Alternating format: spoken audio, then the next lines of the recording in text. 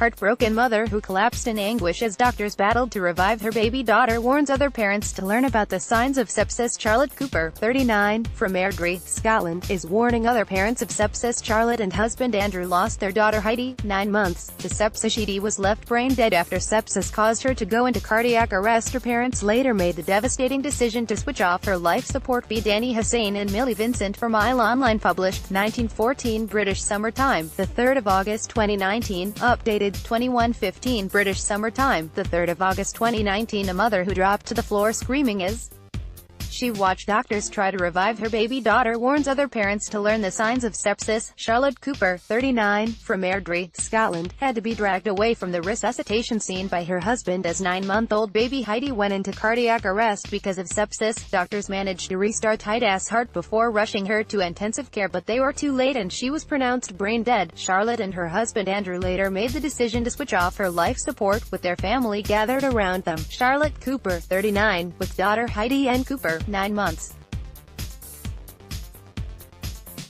Charlotte urges parents to pay attention to signs of deadly sepsis in infants. The heartbroken mother has now revealed how she held Heidi in her arms as she was pronounced dead, and doesn't think she'll ever be able to have another child because of the torment she went through. Charlotte spent two years trying to get pregnant before Heidi was born on September 27, 2018. Nine months later, she took her baby daughter to Wishaw General Hospital with what she thought was just a viral bug. Two days later, the hospital sent Heidi home, but her mother soon realized something was wrong. Heidi in hospital hospital before her life support was switched off, ending her life due after sepsis caused cardiac arrest leaving her brain dead. She said her daughter wouldn't stop crying after leaving the hospital, had a fever and couldn't keep her food down. Symptoms of sepsis in a baby or young child, blue, pale or blotchy skin, lips or tongue, a rash that does not fade when you roll a glass over it, the same as meningitis, difficulty breathing, you may notice grunting noises or their stomach sucking under their rib cage, breathlessness or breathing very fast, a weak, high-pitched cry that's not like their normal cry not responding like they normally do, or not interested in feeding or normal activities being being sleepier than normal are difficult to wake they may not have all these symptoms. Source, NHS Heidi improved slightly after visiting a local health center but her fever continued to rage and so Charlotte took her back to hospital a day later. Six doctors treated the baby, giving her fluids and antibiotics, and one of them told Charlotte that Heidi was septic. He added that the nine-month-old baby needed to be taken for surgery urgently. Tragically Heidi's heart stopped just before they reached surgery. Charlotte said, just before we reached surgery, Heidi's heart stopped. I will never forget that moment I saw doctors giving her CPR. Heartbroken, the mother crumpled to the floor screaming, no, as she watched doctors desperately trying to revive her daughter. Her husband dragged her away and doctors were able to restart Heidi's heart, putting her on life support. A mobile intensive care unit was also called to whisk the baby to Queen Elizabeth Hospital in Glasgow.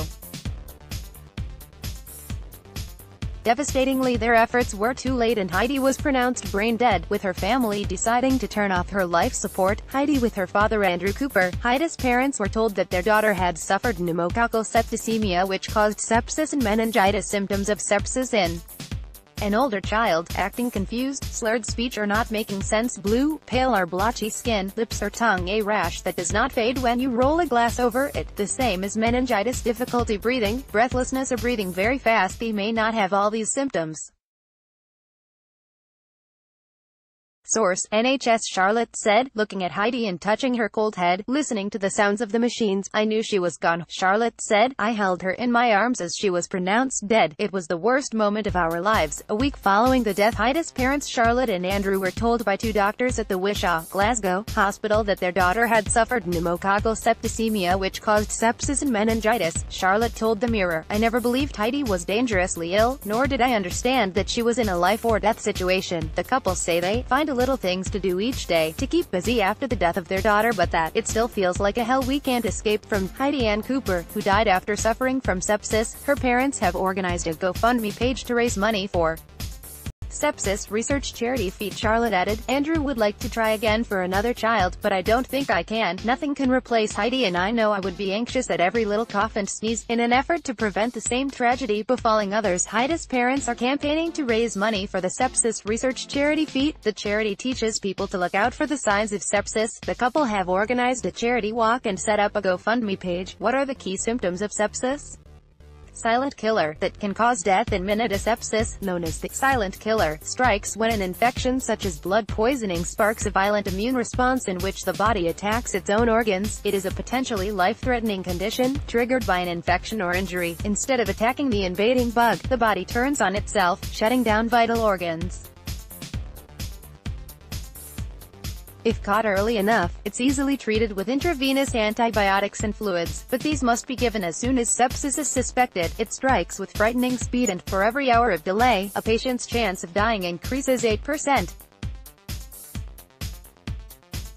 Sepsis is a leading cause of avoidable death killing 44,000 people each year. Early symptoms of sepsis can be easily confused with more mild conditions, meaning it can be difficult to diagnose. A high temperature, fever, chills and shivering, a fast heartbeat and rapid breathing are also indicators. A patient can rapidly deteriorate if sepsis is missed early on, so quick diagnosis and treatment is vital, yet this rarely happens. In the early stages, sepsis can be mistaken for a chest infection, flu, or upset stomach. The six signs of something potentially deadly can be identified by the acronym sepsis, slurred speech or confusion, extreme shivering or muscle pain, passing no urine in a day, severe breathlessness, can that's mottled or discolored. Anyone who develops any of these symptoms should seek medical help urgently, and ask doctors.